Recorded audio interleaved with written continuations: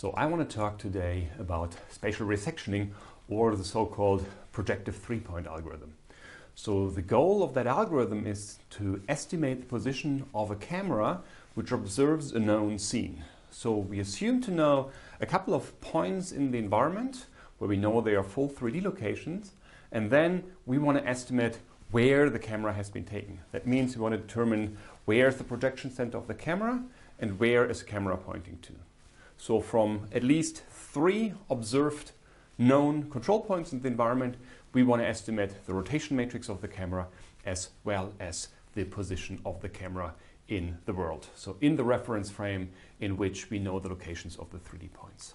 So one concrete example, let's say you have this beautiful square here in Rome and you know the four locations or three, or in this example, four locations which are marked here with red crosses in the world. So you know the 3D coordinates of those points.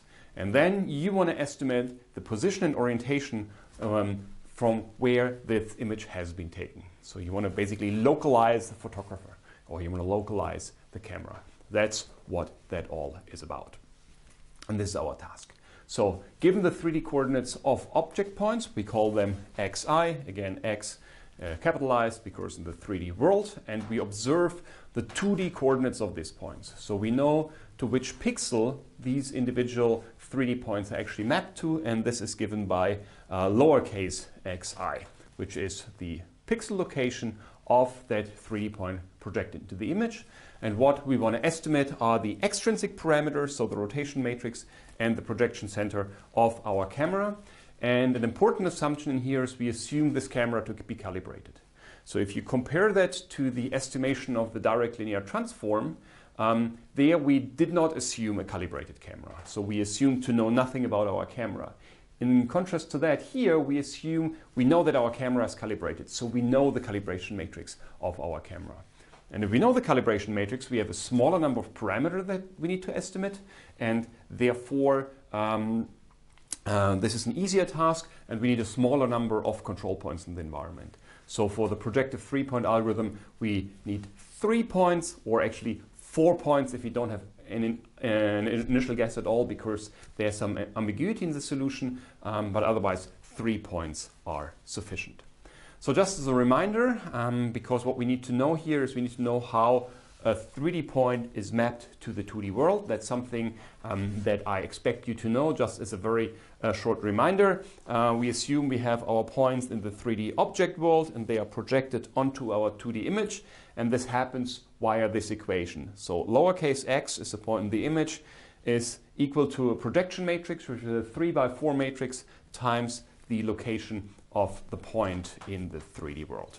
And this projection matrix P can be split up into one part, which is the calibration matrix K over here, which contains all the intrinsic parameters, so everything, so the parameters inside our camera, the calibration of our camera.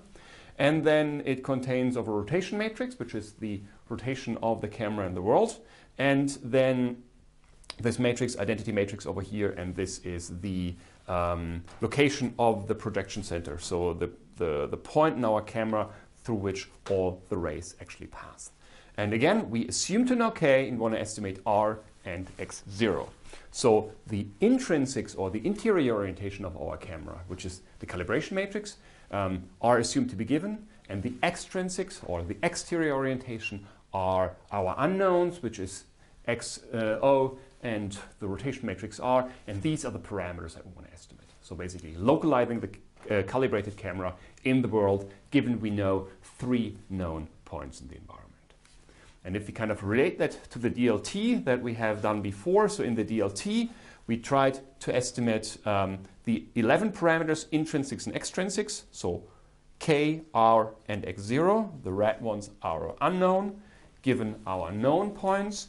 And today, where we're looking into the projective three-point algorithms or spatial resectioning, um, there we assume the matrix K to be given and our unknowns are only the three rotation components and three translation components. So there's six extrinsic parameters of the camera that we want to estimate. And for that, we need, uh, we have six unknowns, so we need to have at least three points in the environment, um, observing always an x and y coordinate of that point. So minimum three points in order to do this, which is different compared to the DLT, which required six points um, because it additionally had these five um, unknown parameters about the camera calibration. But again, the camera calibration problem we assume to be solved here at that point for us. So we will now dive into the question, how can we actually uh, orient or compute the orientation of our calibrated camera using at least three points in the environment. And we are providing here, what I'm providing here is a direct solution, so a solution which does not require an initial guess. It's not a statistically optimal solution. As we will see, we will not exploit any uncertainties about this point. So, um, for example, we assume the pixel coordinate to be perfect and we don't have any noise in our measurement process, nor do we consider that maybe some of the 3D points of our control points in the environment are not perfectly known and have some uncertainty associated to that. That's something that we ignore in this direct solution. And um, so we, we directly compute the direct solution without any initial guess.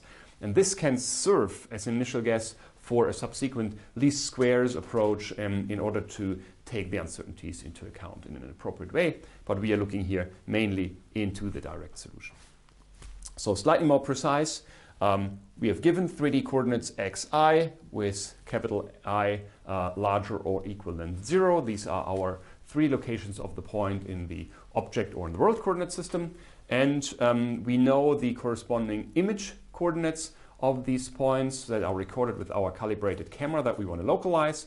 So these are our observations and we assume to have them. And we also have the data association. So the eye of the 3D point and the eye of the point in the, in the image, we know the correspondency. So there's no ambiguity in the data association, for example. And given that, our task is to estimate the six parameters associated with the um, translation and the rotational components of our camera location, doing this in a direct solution, so not requiring any initial guess. And this is so-called the spatial resectioning problem. Um, we should mention that this is a problem which has been studied for um, quite a while now. Solutions are known since approximately 160 years, and we are looking here into the original solution proposed by Grunert. Um, there are other solutions um, which are also out there, but we kind of stick here with the original solution in order to do that. And this is um, a two-step process. So if you think about these are our object points in the environment, x0, x1, and x2, and this is our camera observing those three points in the 3D world. The approach basically is a two-step process. So first, estimating the lengths of these projection vectors. So of these vectors from x0 to x1, 2, and 3. And once we have that, we basically know our points in the um, camera coordinate system but then we have the correspondences between the point, the world coordinate system and the camera coordinate system, and then we can simply compute a similarity transform or rigid body transform of three known corresponding points, and that's um, um, basic task that you need to know how, that you need or you know how to do that. So um, just as an illustration, so we have um, here again our camera location, the points x1, x2, x3. So these are my known points and this is my unknown point as well as the orientation. But what we also have, we have the image coordinates x1, x2, x3. And given that we know our camera is calibrated, those, um, those points in the camera coordinate system, so with k here, directly indicate direction vectors, known direction vectors in the camera coordinate system, which pass from the projection center, so from xo or x0 to the point x1, x2, and x3. So these vectors are supposed to be known because we know the calibration matrix. So if you remember that, if you multiply from the left-hand side the inverse of the calibration matrix to the um, point in our um, on our sensor, so our pixel coordinate, then we actually obtain the direct, direction vectors um, towards this point in the 3D world. And as we assume to have a calibrated camera, we know how, where those um, directions point to. And then we have the lengths S1, S2, and S3. This is basically the distance from x0 to x1, x0 to x2, x0 to x3. This is kind of the lengths of those vectors. And these lengths are those things which you typically cannot determine from an image um, because this is kind of the, the depth information which is lost. but given that in this example we know the 3D points of the environment, we will see that we can actually compute S1, S2, and S3. Furthermore, we have the um, distances A, B, and C, which forms the triangle of the three points in my world coordinate system. This is also a quantity that we will uh, need to exploit in the subsequent process. So now let's look in our again into our camera model. Um, and this is basically what I briefly explained before. So we have um, our points in the 3D world put into the camera coordinate system. So this is by subtracting the translation and uh, multiplying with the rotation matrix here. Um, we basically obtain our rays of the points. So these are these rays over here from the um, projection center of our camera through the image plane to the point in the 3D world. This is given by this equation over here, which is equal to k inverse times the pixel coordinate in the, in the sensor frame. And we need to multiply it by a scalar S1, which describes this length, assuming this to be a unit vector.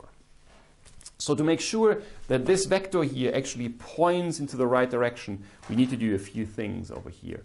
Um, we need to make sure, because again, we have this coordinate system where the camera constant can be positive or negative, so we need to take into account that we do it in the right way. Um, we ensure that we use our, um, we, we, take into account the, the sign of our camera constant. Uh, so for us, we were always assuming a negative uh, camera constant over here, therefore we have the, uh, the negative um, sign here.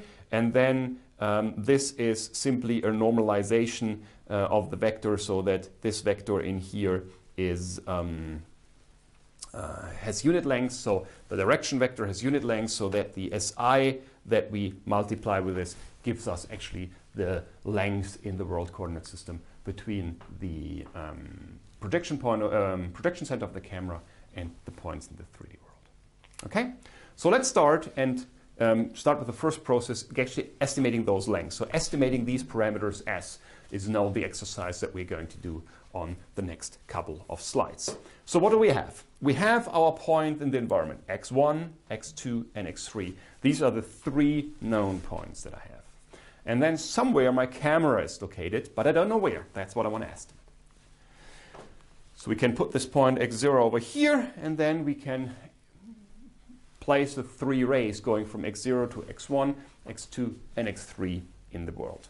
And um, what we want to have are those S1, S2, and S3, which are the length of those vectors. So this is what I want to do. The length of the rays from the projection center of the camera to my known points in my world. So what I start doing is I'm start considering the angle between those rays. So where do I get the angle between those rays from?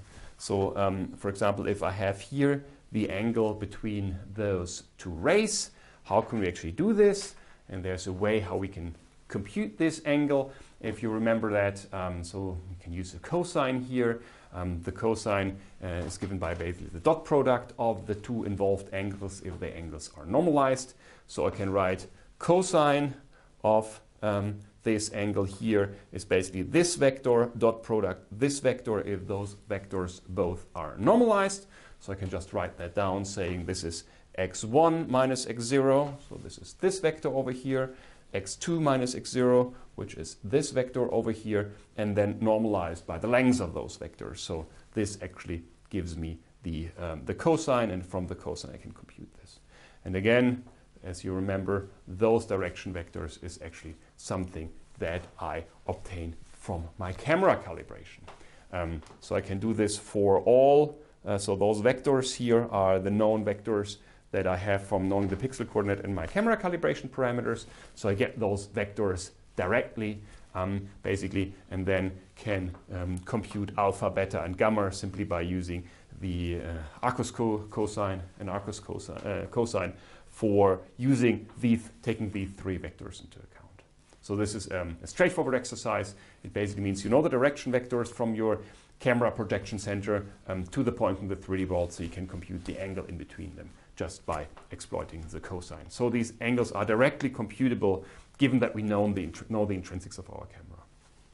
Again, if we wouldn't have not a calibrated camera, this would not be possible because if our camera would not be calibrated, that means we would not know these direction vectors. Only by knowing the uh, calibration matrix K of our camera, we can compute the points in the camera coordinate system directly out of our pixel coordinates. So this is important to know. That's the reason why our camera needs to be calibrated over here. Otherwise, we wouldn't get those angles over here. Okay, so by now we know those angles, alpha, beta, and gamma. Those three angles are now known to us. We know how to compute them directly out of the pixel coordinates and our camera calibration matrix. Now the next step is to look, in the, look into this triangle over here with A, B, and C connecting the points x1, x2, and x3. And so the length of ABC is something I can straightforwardly compute using the um, Euclidean distance of my known 3D points. Consider I know x1, x2, x3, so I can compute the distances um, between them in, in a straightforward manner. Um, that means now we have different triangles involved in here. So we have one triangle from x0, x2, x1. We have another triangle from x0, x2, x3. And we have a third triangle x0, x3, x1. Right? So we have three triangles now. And we want to, and we know always these angles here in the triangles, and we know the lengths of um, A, B, and C. So one side of this triangle all the time. We want to estimate the other two lengths of each triangle, which form S1, S2, and S3. So let's start out using the triangle x0, x1, x2. So we're now looking into this triangle over here. So I'm fading out all the other triangles. So I'm considering this triangle over here. So what is known are the green elements. My gamma is known and my C is known. But what is unknown is S1 and S2. So the question is, how can I relate them with each other? And I can relate them with each other through the law of the cosines, um, or cosine law. So it basically tells me that um, this length squared plus this length squared minus 2 times S1 S2 and the cosine of this angle gamma, which I know, uh, must be equal to c squared. So um, just if you um, consider this to be um, a triangle where you have where this is a 90 degree angle, if this is a 90 degree angle, this element would go to zero, so this whole element would drop, and you would have um, S1 square plus S2 square equals C square. Again, this only holds if we have a triangle which has a 90 degree angle. If we have a triangle which doesn't have a 90 degree angle, we need to take this form, which is the, the basic law of the cosine. And so in this triangle, I can generate one equation which contains two known parameters, gamma and C, and it contains two unknown parameters, S1 and S2. Okay? So these are my unknowns, and these are my knowns. And now I can repeat the same process for x0, x2, x3, x0, x1, x3, and x0, x1, x2, what I just did. So I can repeat this process two times more. So in sum, I can do that three times. So I get three equations of that type, right? So I can just add them in an analogous way. We get the same thing for uh, the first triangle, the second triangle, and the third triangle. And again, these A, B, and C are my known parameters. This is what I know. My alpha, beta, gamma angles is something that I do know. And I have my unknowns S1, as 2, and S3 involved in here.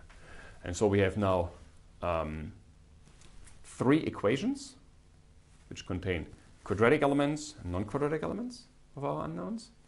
And um, um, three equations with two unknowns. And now I can do some mathematical exercise in order to bring them into one equation. It will turn out we will get a polynomial of degree 4, which we need to solve. And this then, if we solve this polynomial of degree 4, then um, we actually get the solution to our um, question, what are the lengths S1, S2, and S3. Let's see how we can do that. So we start with computing those distances. So we start with the first equation. So we go back, take the first equation, just copy paste it here, and say a square is s2 square plus s3 square minus 2 s2 s3 cosine alpha. So what I do now, I just define two new variables, a variable u and a variable v. So here are u and v given. u is the ratio of S2 to S1 and v is S3 to S1. So both elements uh, divided by the length S1.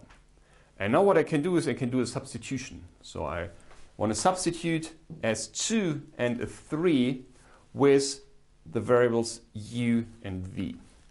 So just an example, if I take the u over here and want to replace this part over here, so this would be um, s1 squared times u squared, right? So because if I take s1 squared times u squared, the s1 goes away and just s2 squared remains, which is exactly this term over here. Same is done here. This equals to s1 squared times v squared. And here minus 2 times s1 squared uv cosine alpha. So as a result of this, s2 is gone, s3 is gone, I only have u and v in there, and the term s1 squared. So this substitution, as I explained it directly, leads me to this equation over here. Okay? And I can rearrange this equation, um, get s1 on one side. So basically, I'm dividing by this term over here. And so that my result is then s1 square equals a square divided by this expression over here. Okay? So through this rearrangement, I obtain exactly this expression over here. So the only thing I've done, I have rearranged my um, equation, introduced two new variables, u and v in here. And if I have u and v, um, I can go back to my original parameters and then get an equation which contains u and v um, and also contains my s1 square. And now I can use exactly the same definition of u and v and perform the same uh, substitution for the other two equations, which contain b square and c square. So I'm doing exactly the same thing. so S2 and S3 always gets replaced with u and V S1 stays in there. So as a result, I obtain three equations which are all equal and all relate u and v with respect to S1. So I just obtain S1 equals to this expression. So this was kind of the thing that I showed you how to do just a second ago. And we can do the same thing for the two other equations where we obtain this equation and this equation over here. And we know that all the three are equal and they equal to S1 squared. And so now I have my equation and just containing u's and v's squared and in linear terms in here and the remaining parameters a, b, and c are unknown. So what I now can simply do, I take one of those equations, solve it um, uh, for u, and then put that one into the other equations in there.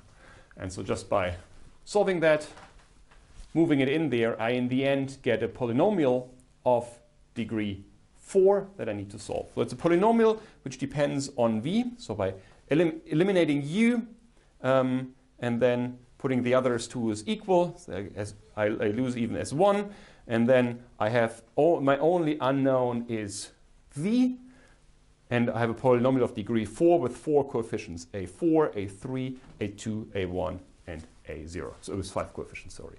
Um, four coefficients in front of v and my constant term, and this should be equal to 0. And of course, this a4, 3, 2, 1, a0 may be terms which are now look a little bit um, ugly or non-straightforward um, to derive, but um, just by sitting down and putting all the equations here, we can actually write that down. Um, so again, cosine will pop up a few times, and um, elements up to degree 4 are likely to, to pop up because um, u was squared and v was squared. We solve with respect to u, put it into the other equations, so we may end up with elements of up to degree 4. And we can actually do this and just kind of say, after let's say two pages of derivations on how to put all things together, we would come up with the following solution. So we have our polynomial here, and now I can actually spell down the four coefficients, so or five coefficients. A0, A4 would be this expression over here. A3 turns into this expression um, down here. We can do the same thing for A2, A1, and A0. So A2 gets this expression over here. Again, this is something I don't expect you to derive very easily by hand. Uh, it will take you a couple of minutes to actually do this, but there is no uh, very complicated transformation involved in order to derive them. And the same for A1 and A0. so that we have our coefficients of our uh, polynomial of degree 4. And the important thing to note in here is that all those coefficients, they only depend on A, B, and C, and on our alpha, beta, and gamma. And these are all known parameters. So even if you go back, so here only have A, B, C, B, C, uh, alpha, A, B, C, A, B, C, beta, A, B, C, uh, alpha, gamma, uh, alpha, beta, and again here, so there are no unknowns involved anymore. So just by putting in our values for A, B, and C, we actually get our four coefficients. And then we have our polynomial uh, of degree 4, v to the power of 4 to the power of 3, 2, 1, and uh, our constant coefficient. And then we need to solve the degree of polynomial 4. So what we do, we, we solve this uh, polynomial of degree 4 with respect to v, and this will then allow us to get our lengths S1, S2, and S3, because you remember our original equations was relating S1 with all the other equations, so S1 is then directly given, and then um, S2 and S3 was the ratio of, um, so U was the ratio of um, S2 divided by S1, and V uh, S3 divided by S1, and then I can simply put in our numbers. So S1, again, gets through one equation uh, when I know V, and then S3 is V times S1, and then uh, for getting the S2 in, I just need to put the other equation. I have S2 in here, S3, S2, 3, those are uh, known. Uh, can No, sorry, I can move S2 to the other side and then simply solve this and also get my uh, solution out. And then I basically have computed my lengths S1, S2, and S3. The only thing I need to be careful in here is, as a degree, um, a polynomial of degree 4, we don't have obtain necessarily unique solution. So the problem that we actually have that there's a possibility of having up to four possible solutions for that system. So four possible lengths S1, S2, and S3. So there are four triplets of S1, S2, S3, which would actually explain me this equation. And so now you see that we actually have a problem in here because we cannot uniquely locate our camera because we get up to four solutions. So we have four possible solutions that would tell us where the camera could be given those lengths. And the interesting thing is that we can actually visualize this. We can generate four geometric explanations um, on that where all the lengths are the same and all the angles are the same, but we can actually place the camera in four different locations um, and can illustrate you that there are actually really four different possibilities to do this. And so let's have a look to the, to the geometry so that you understand where those four solutions actually come from. So again, we had our setup, x0, x1, x2, and x3. Um, the, and what we exploited were those angles alpha, beta, and gamma, and the lengths A, B, and C, right? So these were the information that we have used. That was the stuff that was supposed to be known. And now the question is, can we generate another geometric configuration so that we either move x0 somewhere else, or we move one of those points, x1, x2, x3, somewhere else, which would basically be a rotation of my, of my main coordinate system, so that ABC stays the same and alpha, beta, gamma stays the same. And we still have a valid configuration. And we actually can do this by basically tilting this triangle down here, which is equivalent basically to moving x0, but it's easier visualized if we keep x0 fixed and change the triangle down here. And we can do this by basically tilting the triangle x1, x2, and x3 along one axis. So we can perform a rotation where A is the rotation axis, where B is the rotation axis, and where C is the rotation axis, and would still end up with the same overall configuration in terms of A, B, C, alpha, beta, gamma.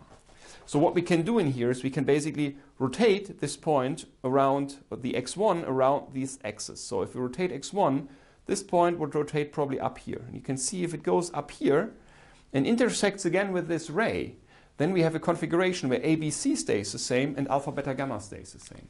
So just kind of a visualization, if we kind of lift this, rotate this point upwards, then we could get a triangle which looks like this, which has exactly the same lengths A, B, and C, and the same angles alpha, beta, gamma, but which is again a different configuration, different spatial configuration.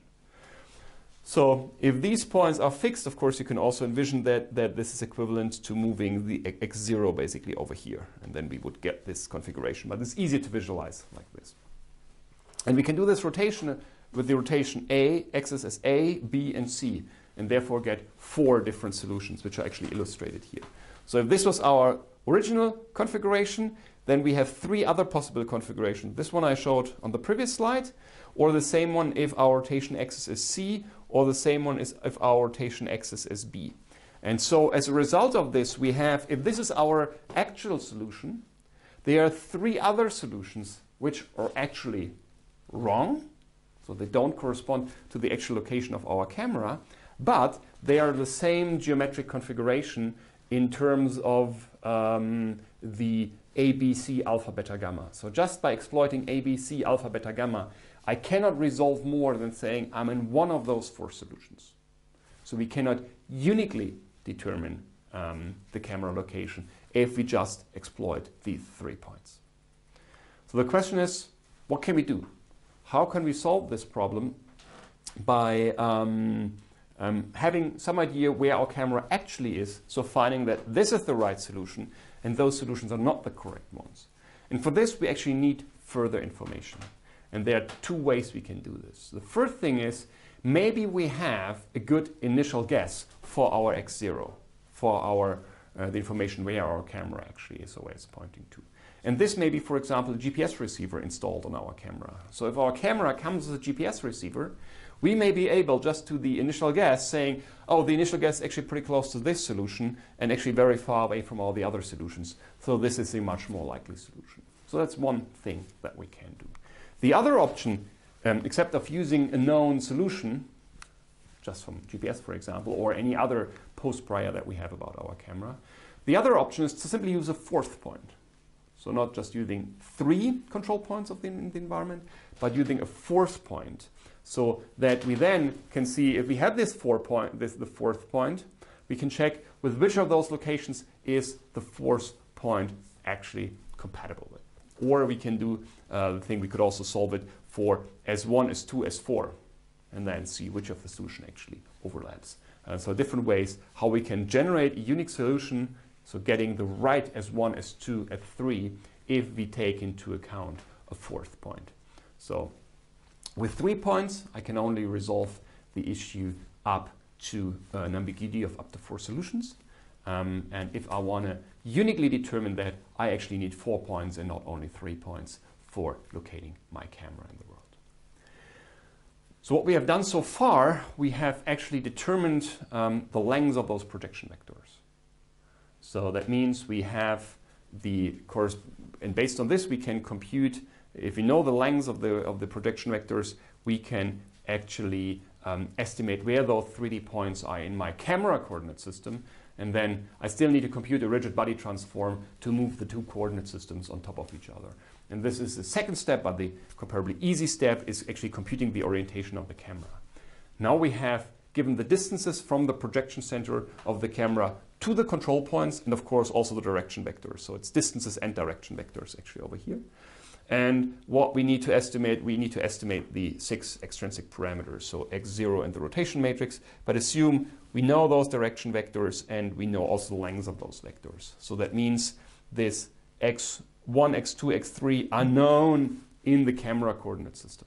And now we need to estimate where they are in reality. So the first step was to compute the lengths, and then the, um, the second thing is to actually compute the, um, the transformation. So what we have, we know the point now in the camera coordinate system, uh, the 3D points, point, and we know uh, the point in the 3D world, and we need to estimate those two parameters. And this is something which um, you, you, you quite know well how to do. So you have basically you have a set of three points and you know them uh, in, you have them in different coordinate systems, so you directly have the point correspondences, so you can compute the rigid body transformation of those points and how to rotate them on top of each other. And this then gives you x0 and r.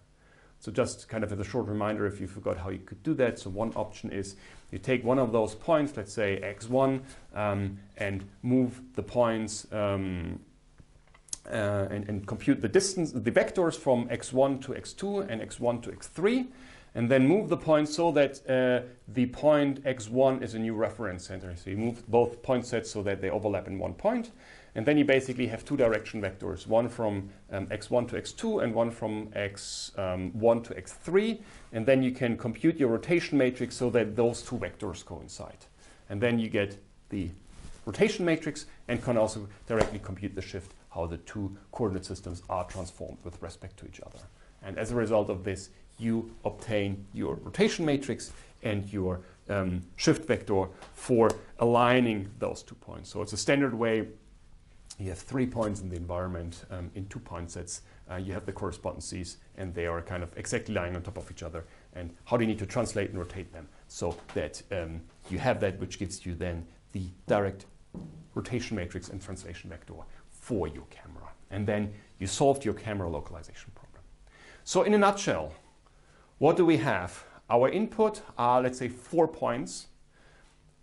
3D coordinates of the four points, pixel coordinates of the four points, and your camera calibration matrix. This is the input. The first thing is you compute your angles, alpha, beta, gamma.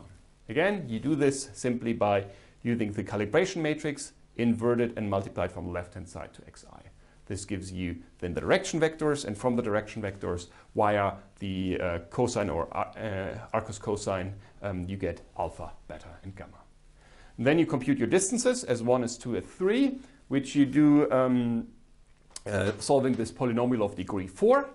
This gives you S1 is 2 S3, but up to 4 solutions. So it's not in, uh, so there's an ambiguity in there. And then you identify the correct solution by taking the fourth point into account which gives you then the correct S1, S2, S3. So it identifies which of the triplets are actually the right one, and then you compute the coordinate transformation between this, which gives you R and X0. Then you localized your camera in the environment by just knowing three points in the world. We have to say, however, that um, there are some numerically unstable solutions. It's something which is called the critical cylinder. So if you think that you have a cylinder and x1, x2, and x3 lie on the circle of the, um, the kind of the basis of the cylinder. And the projection center lies on the boundary here um, of this tubus of this cylinder. And then all the points which lie here on the tubus of the cylinder is what is called the critical cylinder. And um, it can lead to a situation that small changes in the angles lead to strong changes in the large changes in the coordinates, which leads to a numerically unstable solution. So there are certain configurations where you cannot localize your camera well with this approach. So there are some situations where you need to take care that you're not in one of those, end up in one of those degenerated cases. Um, and there's uh, another important remark here that I want to make. And this, another important remark is what happens in real world situations. So in real world situations, you often do not have perfect data association. So perfect correspondences between what you see in your camera image and the points in the 3D world. So there may be control points and you mix up those control points. And this will, of course, a wrong data association will lead you to a completely wrong solution. So there's no way uh, that you can proceed with, with this uh, solution. And therefore, what you need to do is you need to take into account, or one option to do this is to take that into account by uh, saying, I assume still that I have a substantial number of uh, points for which my data station is correct, but there may be a few wrong ones in there. And through an, let's say, trial and error approach, and this actually, and actually it's, it's a RANSAC algorithm that's running here, but we can explain this without going to details of the RANSAC algorithm. We can use this try and error approach to actually come up with the right solution. So assume we have more than three points. Let's say we have six or seven points in our environment. So what we do is we select from this, let's say six or seven points, we select three points randomly. And we simply run our projective three-point algorithm and we get a result. And then, based on this result, we take the remaining points and say, how many points agree with this solution? So how many other points I actually map, if I, if I, if I map them from my um, 3D coordinate into my image, if the image coordinate that I actually compute actually the observed image coordinate. So I'm basically checking if the localization of the camera that I computed is in line what I actually observe. And I simply count how often, how many of the remaining points actually agree, agree with this solution. And then I simply repeat this process. Again, take three other points or randomly sample those three points and then take the result where most of the points agree on if I repeat this process over and over. Um, so this basically says if I have one outlier in there, I will still have two other points, uh, remaining points, which agree with my solution. And I say, okay, maybe I have one outlier in there. And of course, the more outliers I have, the more points I would need here. Um, but there's one way on dealing with outliers. And this actually works well in practice. And if I have enough control points or points I approximately know in the environment, uh, we can actually even deal with a large number of outliers in the data association. So if you run this in practice, you will need to have some of those RANSAC steps in there because you can never make sure that you are free of outliers in your overall approach. So um, as a result, take RANSAC into account if you're not perfectly certain about your data associations.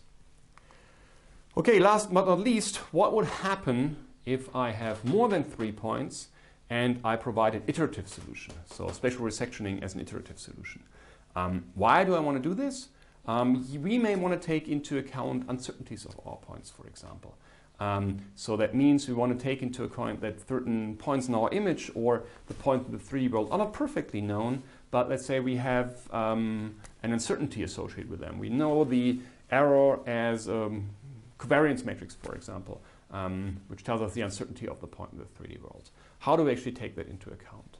And we do this with a nonlinear least squares approach, um, where we are performing a least square error minimization uh, and then compute the uh, solution over here. Again, this, all this will turn out to be a statistically optimal solution under the assumption that all the noise that I have is Gaussian distributed. And of course, it's a nonlinear system, so I need to perform my um, linearizations. And um, this is done in the standard least squares way. So we need to build our system of observation equations.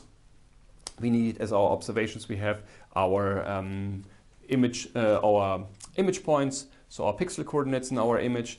We have an initial solution that we typically compute, for example, using the um, projective three-point algorithm that I just explained. And then I need to linearize my um, error equation. I need to, um, then I can estimate my extrinsic parameters by um, solving a linear system. And I update my parameters and I do this until a certain uh, convergence criterion is, uh, um, ha has been achieved. So that means, for example, that the difference of the estimated parameters um, between one iteration and the next iteration is uh, close to zero. And I said, I converged, I actually found my solution. And that will be the approach that you would do if you want to get a more precise um, result than with the projective three-point algorithm, um, especially if you have uncertainties, for example, that you want to take into account about your data points. Uh, but still, you need the projective three-point algorithm in order to come up with your initial guess, so now to have the starting point for your least squares approach. And again, the angular uh, mistake that you may want to have in here shouldn't be too large if you run this approach. So let's say if you are something, let's say below five degrees in your orientation, um, you're still fine, but the nonlinearities can actually be, can lead to issues if you have large deviations from your initial solution. So having a good initial solution is important here, and the projective three-point algorithm is the approach in order to do that. So to sum up what you should have learned today, so we talked about estimating the pose, so the position and orientation of a calibrated camera given at least three control points, better four or even more. Um, calibrated camera means a camera for which we know the calibration matrix K. And we um, introduced the direct solution here using the projective three-point algorithm, which is um, fast to compute. So they are not, it's not an iterative procedure which requires a lot of operations. So something that you can do very quickly. And therefore, it's well suited to be combined with a technique such as RANSAC in order to deal with the outliers in your data association. And that was kind of the main topic of the course here. If you want to go a step further and want to get to a statistically optimal solution, uh, not optional, optimal solution, then you um, would go for an iterative um, nonlinearly squares approach um, where you can use all the available points that you have and the uncertainties involved, but already assumes that it's outlier free. So you would run your projective three-point algorithm here as an initial guess, and you would run RANSAC as well before that to get rid of your outliers, and so that only the outlier free points where RANSAC said they were outlier free would be taken into account until the least squares approach. And this then allows you to also make statements about um, your, the, the, precision that you can obtain uh, with this approach and how well you know your individual parameters, so you can even make more informed statement than what the basic projective three-point algorithm actually provides you. With this, I thank you very much for your attention, and I hope you learned how you can actually localize a camera just by knowing a few points in the world. Thank you very much for your attention.